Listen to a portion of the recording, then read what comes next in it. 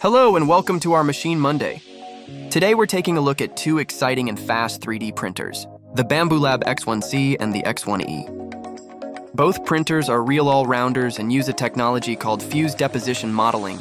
In this process, thermoplastic material in the form of filament is extruded through a heated nozzle and deposited layer by layer on a building platform. The Bambu Lab X1C can print various materials, even carbon fiber reinforced plastics, which are particularly stable. The X1E goes one better and is even more suitable for professional use. Both printers are great for building prototypes, developing your own gadgets, or simply turning creative ideas into reality. Another major advantage is that they can print quite quickly and often have many practical functions built in to make printing easier. They are therefore not only interesting for large companies, but also for hobby 3D printers.